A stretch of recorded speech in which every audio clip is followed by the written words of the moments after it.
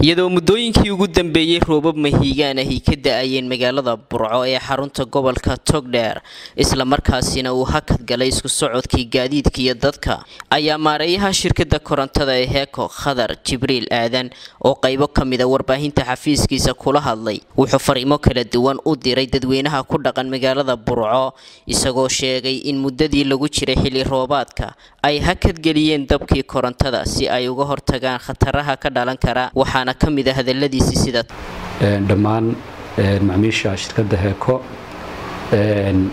anigoo ka raali gelinaya goobgii dabka ayaamihii u dambeeyey taasoo ay sababtay xilli roobaadkii runtii naxariistii eebe naxariistii eebe runtii magaalada deemaanshaysay isku keen xigtay.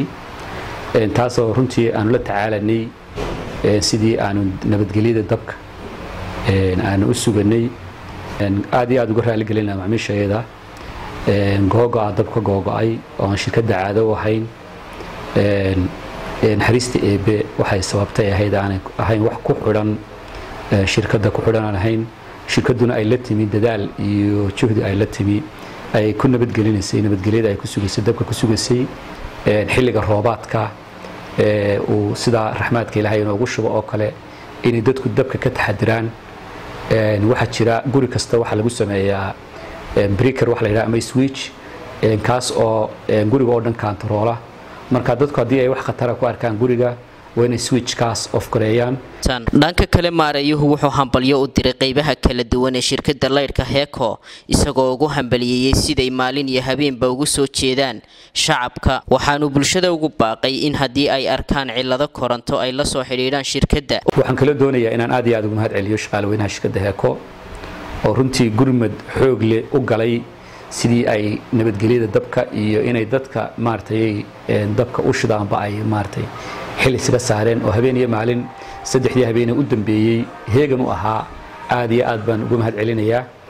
Waxaan ka codsanaynaa macmiisheeda sharafta leh ee aada noogu qiimaha badan leh in ay maaratay soo sheegaan wixii xadhig go-an ay arkaan birta dabaysan gurigooda marka ay joogaana biyuhu ay soo gaadhaan meelaha khatarta ama ay arkaana inay switchka iska off gareeyaan kaas baa dabkao dhan ka wada reebaya fariintaana waxaan la wadaagayaa bulshada in ay runtii ka taxadiraan khatarta xilligaa roobka ah inaanay maaratay ugu bixin cagacadaan oo kale inaanay isku dayin inay taabtaan dabka iyo waayrada iyo xadhkaha inay markaa inay taabtaan oo gacantooda ula tagaan inaan isku dayin.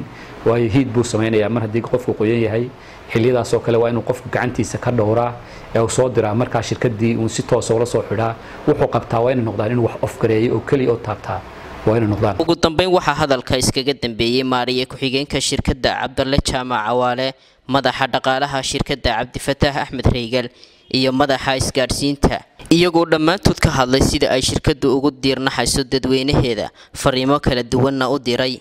Waxaanan ka raaligelinaynaa googoyi uu adeegu u yimi sababtana ay ka timi roobka waxa kale oo aanu waan ka xunnahay dareen kalena waan la qaybsanaynaa. Ciddii kale daadadku ay u gaarsiiyeen dhibaatooyin si kule dhibaatooyinka ay waan la dareen qabanaa dad baniaadmiyaan la sheegayo oo dareemada waan la soconno qaar baa gurya ku dumay roobka guryaha duminaya waa dareemi kartaa khatarta uu leeyahay aan lee lagu sii dhexdayn karayn waxyaalahaasoo markaan xaaladda qiimeyno meelaha ay macaamiishu soo sheegaan ay yidhaahdaan biraya ee aan aragno waan bakhtiinaynay annagoo ku dadaalaynaa meelaha ganacsiga suuqa cusbitaaliska meelaha adeegyada muhiimkaana in leyrhkooda uu afratasac joogo.